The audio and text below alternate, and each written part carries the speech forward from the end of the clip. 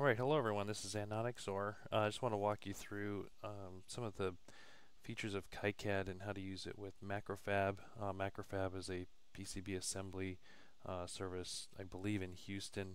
Uh, we discovered them about a month ago and really impressed with their service. Uh, so I want to just give you this overview. There's some things I've learned over the last few weeks and just you know how do you set up things in KiCad so that it will transition properly. Uh, they have some really neat tools as far as you know, aligning the placement of the parts on the on the PCB. They also have some uh, house parts they provide, which really reduce costs significantly. Um, they will go out to DigiKey as well for parts they don't have, and then if they don't, if they can't find it from DigiKey, you can consign parts.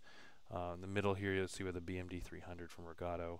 Um, that's one we will be consigning. Uh, we've got a pretty good deal on that, uh, better than some of the DigiKey stuff. So we'll be providing that.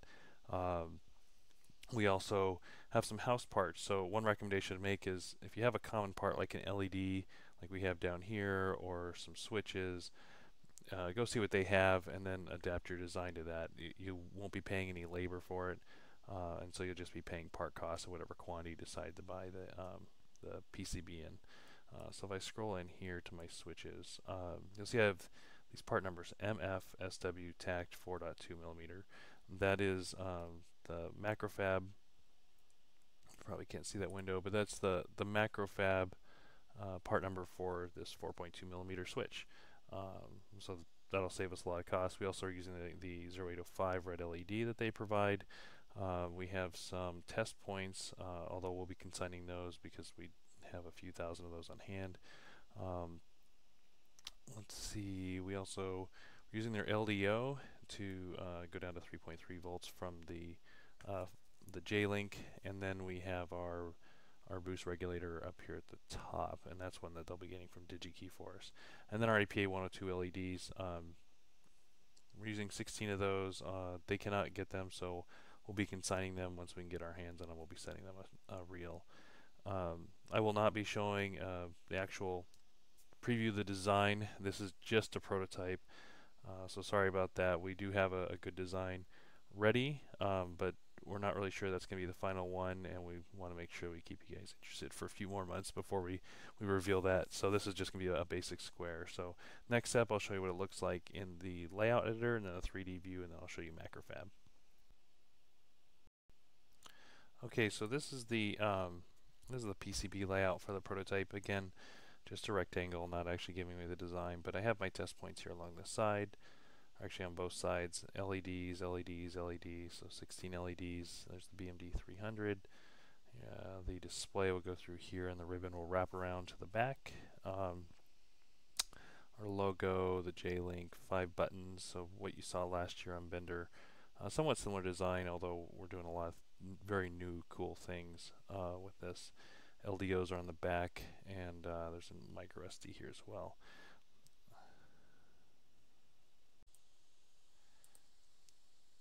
So on the Macrofab site, they have a house parts list. Uh, I use this when I'm doing the design to select footprints um, for some of the, the parts that I'm using.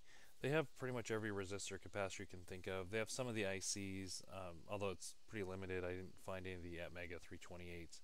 Uh, certainly didn't find any of our BMD 300s in here. But the big deal is, if they have the part, they're not going to charge you for labor. They'll just charge you for uh, for the the cost of the component at whatever quantity you're ordering in. So that's pretty nice. So that's the house parts. Go here when you're doing your design. It'll save it. Alright, so this is the DC25 prototype. Uh, I've already started the upload onto Macrofab. So I'll give you a quick overview of, of how you use the tool. Uh, standard from any you know fab website, you get your layers, you get your thickness, the copper weight. Thickness, there's some custom options and up to 2.6 millimeters. Uh, that's really nice. The silk screen color and, and solder mask color, this is the important thing on this page.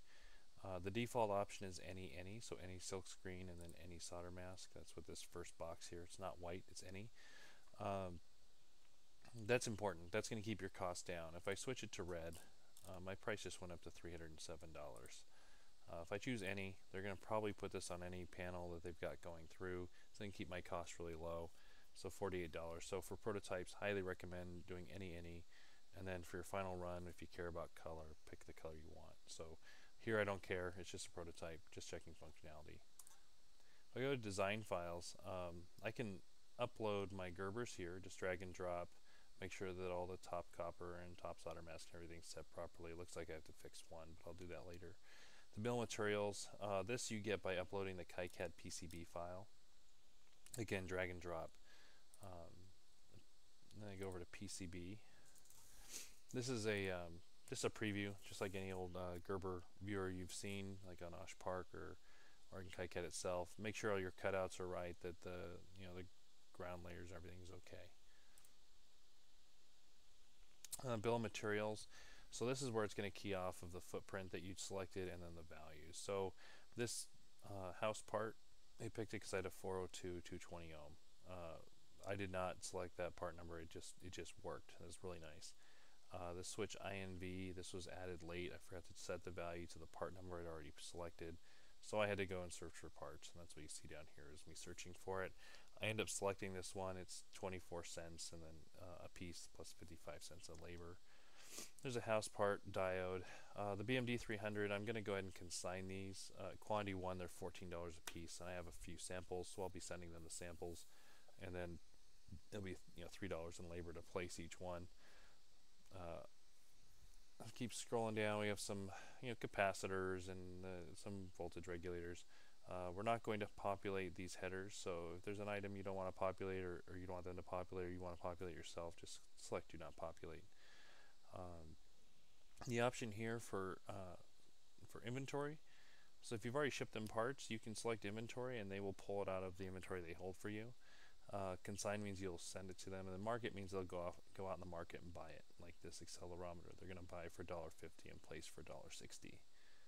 There's the LED I showed you earlier, the tactile switch I also showed you earlier. Uh, via, sorry, logos in KiCad, they show up as footprints, uh, so you'll need to set those to do not populate. Same thing with any cap sense, right? It's there's no part to populate, so make sure you set it to do not populate. Uh, up here, this kind of gives you a little work list of, hey, you get you know 69 parts, 61 are populated, 8 not populated, and 8 with no parts selected. So make sure that you know that looks all okay, and then go to placement. Placement is where you double check every part. You know, did they pick the right spot? Did they pick the right orientation? Are they off by you know a quarter of a millimeter or whatever? Uh, right now, I've already got about 85% complete. I'm looking at one of the diodes, so I do care about which direction it's in. Uh, you notice the diode, the diode direction in here, so it looks like everything's okay. Uh, it's lined up properly. Um, I want to see what work list I have left. You know, I've done a couple capacitors on the back side. I've already completed the front side. Uh, I have you know micro SD still to go check and approve. Uh, one of the tricks is when it first selects the part, it's going to be all black see like that. It's going to look like that. So it's difficult to line up the pads. If you mouse over and off of it, it makes it a little bit more transparent. Now you can see that, that the pads are lined up properly. And so they'll place it they'll place it just fine.